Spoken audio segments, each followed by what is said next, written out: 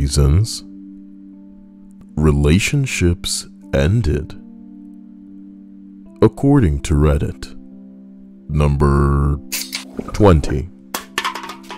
I once broke up with a woman who called me at work to ask me who the woman was that commented a smiley face on a meme I posted on Facebook. It wasn't so much the fact that she asked, but it was the way that she asked. Who the fuck is this bitch leaving smileys all over your pic? Literally 10 seconds after she commented, like she was staring at the picture, waiting for someone to comment. Some people would pay for this kind of treatment. But for the rest of us normals, you know what I mean? Knock it the fuck off, bitch. Take it down a notch. What is this, the eighth grade? Number 19. She started ignoring me because I had canceled going to see her because I had to take my daughter to the emergency dentist. We live in the same place within walking distance, so it's not like I was canceling the only time that we'd get to meet up for ages. I told her to go get fucked because we were both in our 30s and shit happens. It was only after I cut her off that I realized how much hard work she was as a mate. Oh boy, it's a two way street maybe both people should be breaking their back so that it doesn't seem like the hardest of work.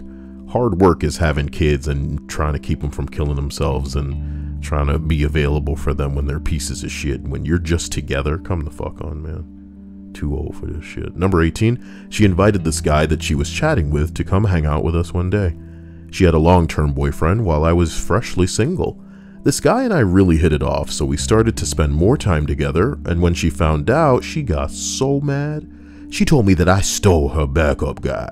Her boyfriend dumped her shortly after, and she demanded that I stop talking to him so that she could start dating him as she had previously planned, insisting that he was her soulmate. Oh, yeah? I stopped talking to her instead, and so did he.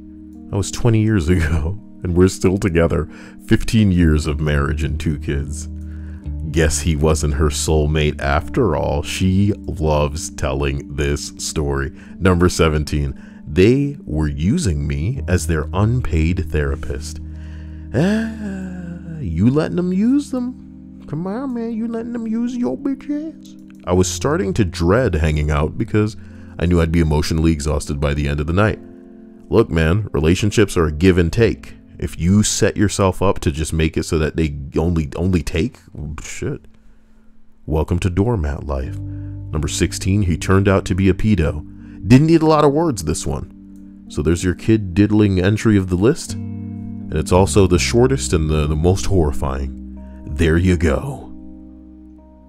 There you number 15. She kept cutting me down now, I was very overweight, and I was aware of it, but she kept letting me know. Like she said she loved to go with me to the mall because if I was there, then no guys would bother us. I was too naive and lonely to see how terrible she was. Well, over the span of a few years, I lost a hundred pounds. She did not like this and was even meaner to me. I met a guy and she tried to steal him from me? It didn't work. We're no longer friends. Here's the thing she was only 20 pounds smaller than me when I was fat. She didn't see herself that way, though. They never do. We gonna be living trying to understand how fat and ugly people have such incredible confidence that, you know, they'd be on the roof with a, a, a fucking towel wrapped around their neck cape billowing in the wind, talking about, you know what? They just start reciting R. Kelly songs and jump off. If I can see it. Number 14. When we were driving and he was in the wrong lane driving into oncoming traffic for a good five seconds, he was high and drunk, and I never hung out with him again. How you get in the car with a motherfucker you don't know they high and drunk? Both? Come on now. See, when I read the first part of this, I thought it was like a like a you know like a toxic relationship with two people and they're kind of playing chicken in the car just like oh i'm so sick of you and your bullshit i'll kill us both right now right now get out of the oncoming lane number 13 she was flying to ireland to meet some guy that she'd become friends with online and wanted me to come with her so she wouldn't be on the flight alone or die alone you know I said, Sure, why not? I love traveling and I don't want you to get murdered. Murdered alone. The guy turned out to be both real and very nice. But she spent the entire time we were there putting me down in front of him to look cool. Damn, was y'all in eighth grade? I didn't even like this guy. I was living with my boyfriend, but she was so threatened for some reason. By the second day of getting mocked relentlessly, I was like, fuck it, and spent the rest of this trip exploring Dublin on my own. You know? Uh, be safe, white girls.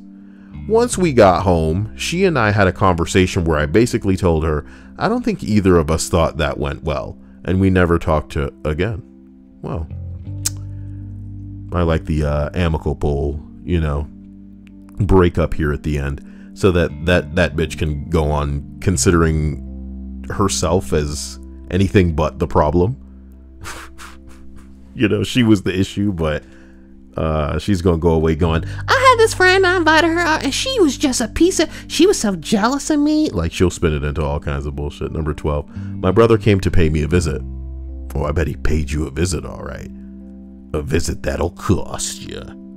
After spending the entire day with my girlfriend, it was time to see my brother. As we hadn't seen each other in quite some time, we made some snacks and set to begin playing Lord of the Rings, which we both enjoy. Playing, huh? She dialed my number and had a lengthy phone conversation with me. I mentioned that my brother is waiting for me, and she responded that I am not allowed to spend my time with anyone else since it belongs to her. I'm sorry, I like I I I literally there's no cameras in here, but I literally pulled away to like look at the like Bitch. What? You, you say that again. Say that again. it was the last time the two of us spoke. Where's my soundboard, bro? Yeah. You damn right, buddy. I need to get some cheers on there. And then he looked at his brother and was like, "All right, step bro." You know what I'm talking about? You guys know what I'm talking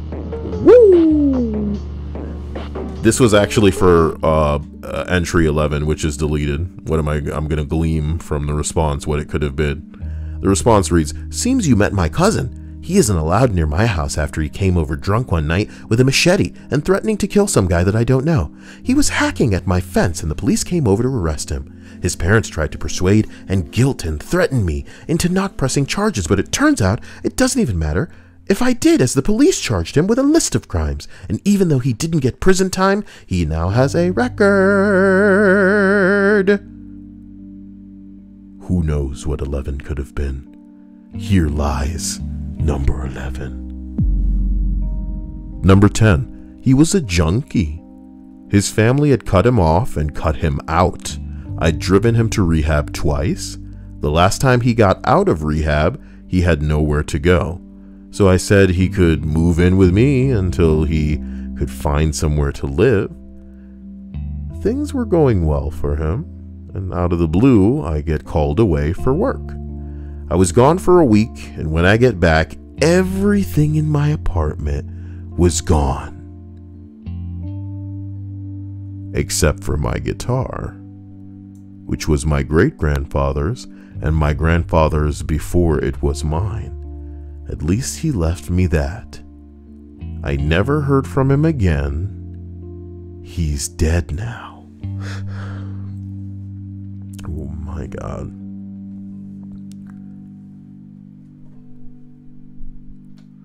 What a stain to leave on people's lives. Jesus. Number nine. They couldn't understand working a full 9 to 5 meant that I could randomly go out drinking until 2 a.m. during the week. Oh, could not. So I guess you just had friends that are just like, bro, what do you mean you don't want to come party, bro? What do you mean? You're always talking about your wife and kid, bro. I don't understand. How can you come party, bro? Bitch, you, they got a job. They got obligations. I just don't get it. But when you got dumb friends, you got dumb friends. Shit.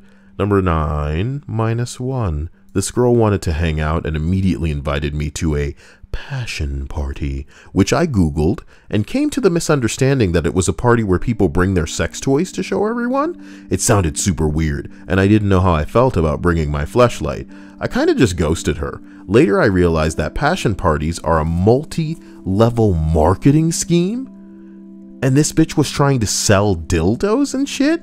Nobody brings used toys. I can only imagine what would have happened if I had brought my flashlight. Hi guys, there's my flashlight. What the fuck? Do you like this model? Why does it look old? It's, it's, it's what I it's what I use. It's my flashlight. Number seven, he had already shown very jealous tendencies. Smacked me over the head because he thought I was looking at a guy, so it was it wasn't good already. We were outside of his friend's house, and his friends asked how I was doing, and he got mad at me for answering. I just got in my car and drove away. Well, I'm glad that that could be the end of it.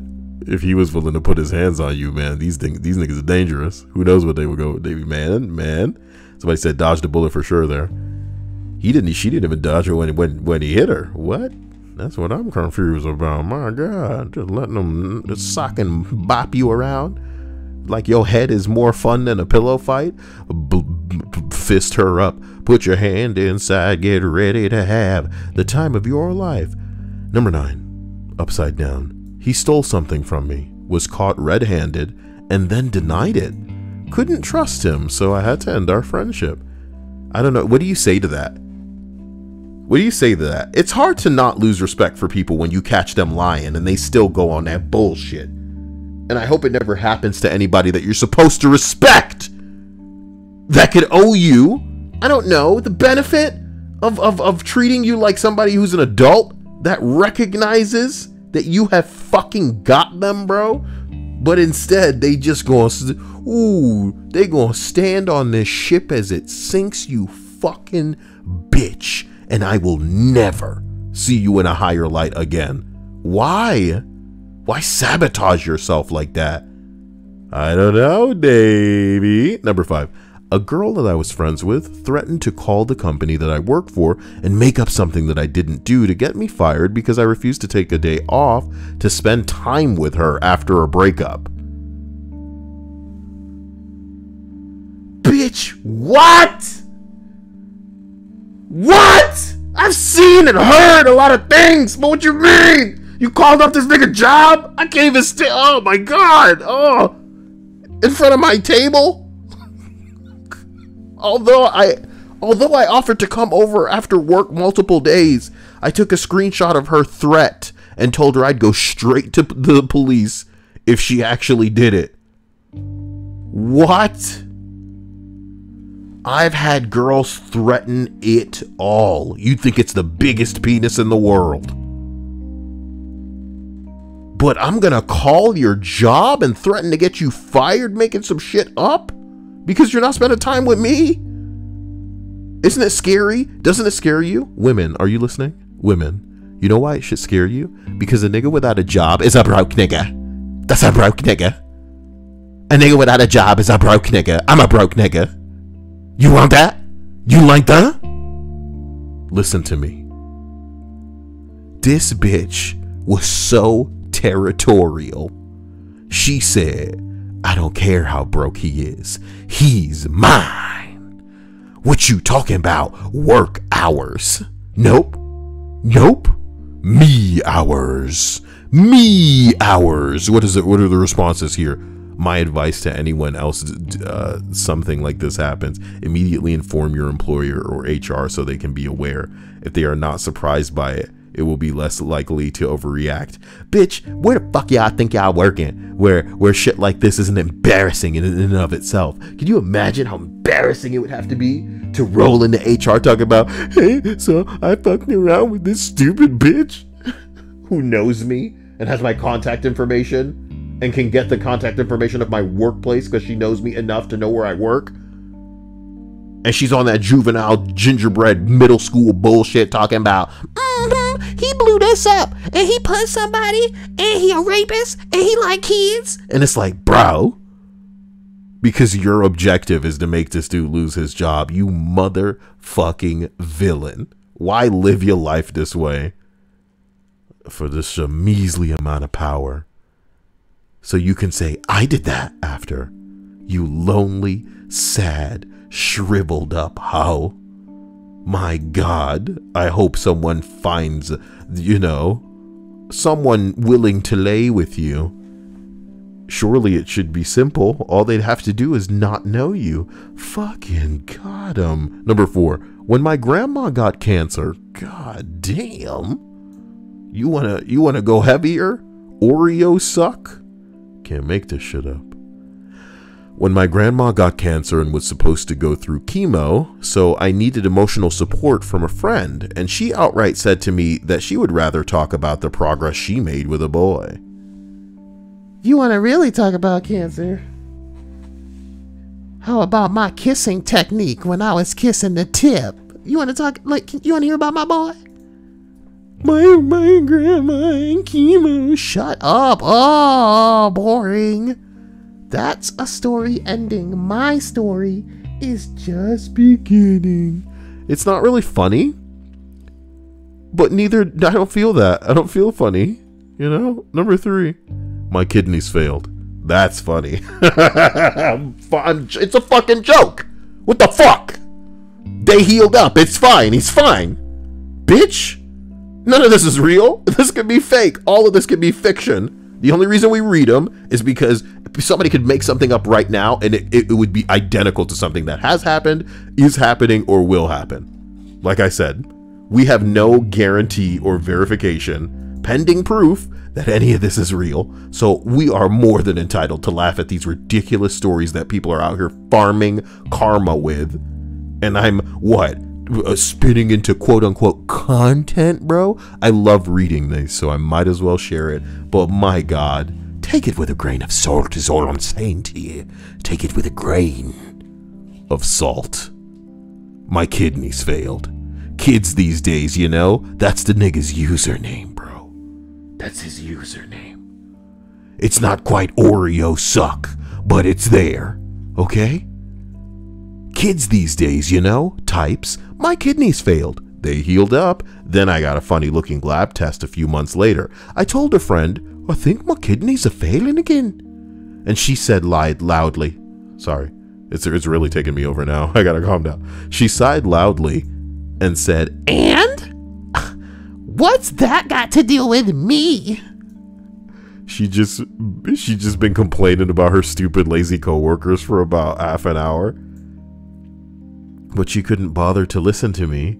That was the last time i talked to her. My kidneys are okay. That's what matters.